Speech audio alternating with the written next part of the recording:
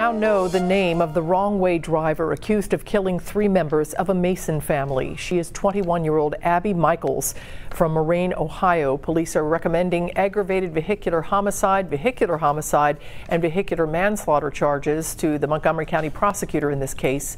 Michaels appeared to have been celebrating St. Patrick's Day before Sunday's crash. Timmy, Karen, and 10 year old Tessa Thompson were killed. The three were headed south on I 75 in Moraine, Ohio, when police say Michaels slammed into their car. Witnesses told police she had used a turnaround for emergency vehicles in the median to head the wrong way on the interstate. Michaels is still hospitalized.